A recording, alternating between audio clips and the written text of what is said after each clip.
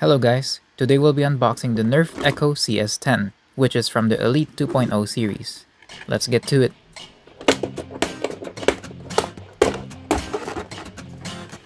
Here's the blaster, complete with its stock and barrel attachments. This is essentially the Elite 2.0 version of the Recon and the Retaliator, because it is also a slide action magazine-fed blaster, which comes with its own barrel and stock attachments. The barrel has 4 tactical rails, Meanwhile, the stock has one tactical rail, but does not hold any extra ammunition or magazines. You can use the Echo without either attachment. Alright, now let's try to get the darts as neat as possible. Alright.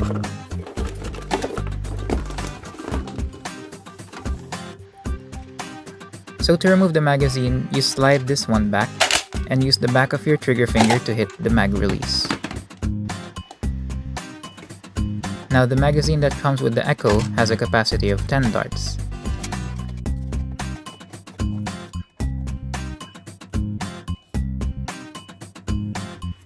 Once fully loaded, you can slide it back in like this.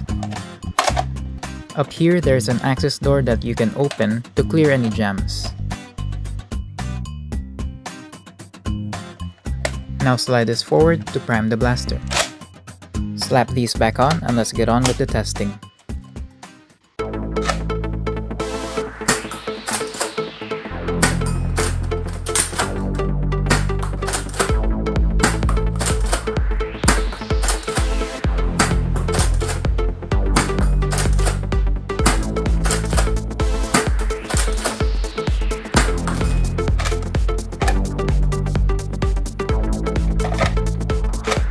Now let's try without the barrel.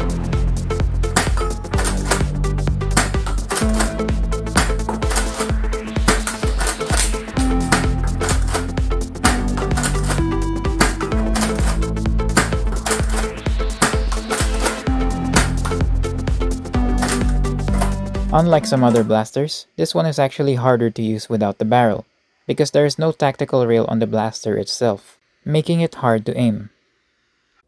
And there you have it, the Elite 2.0 Echo. Echo.